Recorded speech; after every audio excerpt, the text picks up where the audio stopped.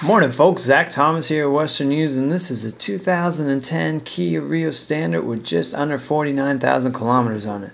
This vehicle is the least expensive, fully inspected car that we have on our lot. It's awesome. Comes equipped with adjustable seats, floor mats. It's got a clutch, brake pedal, and gas pedal. It's got a shifter. It's got a heater.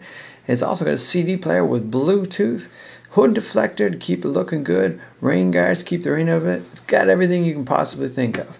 We're selling this vehicle for $5,968, but could be yours for as low as 62 bi-weekly. If you'd like to take it for a test drive, if you have any questions, please email me at zthomaswesternused.com or call 639-7500.